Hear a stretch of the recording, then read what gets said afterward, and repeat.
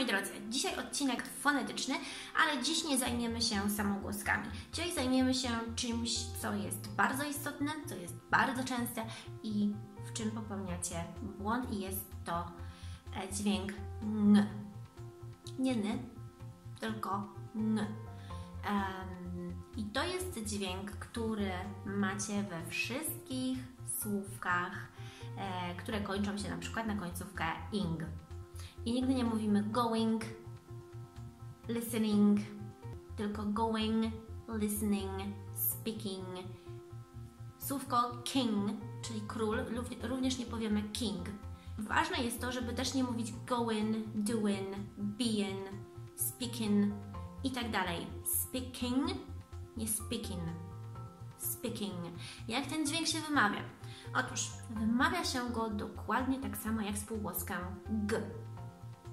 Jeżeli chodzi o to, co się dzieje w buzi, to dzieje się dokładnie to samo, co przy wymawianiu spółgłoski g, czyli tył języka unosi nam się w kierunku podniebienia. Różnica polega na tym, że powietrze nie wychodzi przez usta, tylko przez nos, bo jest to dźwięk nosowy, podobnie jak m inny, czyli te spółgłoski. Eee, tak samo n jest trzecim dźwiękiem nosowym w języku angielskim. Going, listening. Zapraszam Was na stronę, tam znajdziecie całe mnóstwo słówek do przećwiczenia tego dźwięku. Czasami ten dźwięk występuje też w języku polskim. Kiedy mówimy szybko, kiedy mówimy dosyć niedbale i na przykład mamy słowo bank i powiemy to szybko i wyjdzie nam bank, to tam pojawia się n. Podobnie jak w słowie ranga. Kiedy mówimy troszeczkę właśnie tak nie do końca idealnie, to powiemy ranga i będzie tam nie.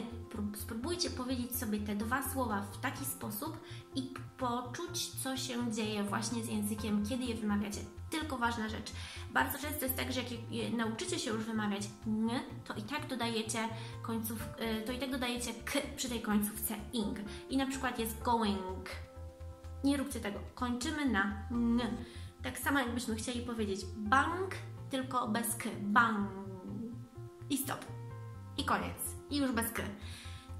Chcemy powiedzieć, żeby to jakoś zakończyć, bo wydaje nam się, nam Polakom, że ten dźwięk jest taki zawieszony, że on się tak urywa. Bank. Nie, tego k tam nie ma ani g. Going, doing, seeing, believing. Having fun. So have fun uh, today. Widzimy się już jutro w piątkowym odcinku. Życzę Wam udanego czwartku. Cześć!